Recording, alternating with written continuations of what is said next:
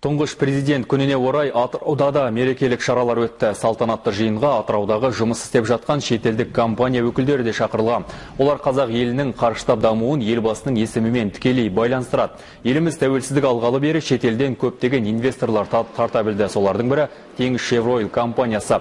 Бұл компания 20 жыл ішінде 250 миллион тоннадан астам мұнай өндірді. Ал Атырау облысының әртүрлі әлеуметтік жобаларына 759 миллион ақш доллары көлемінде қаржы салды.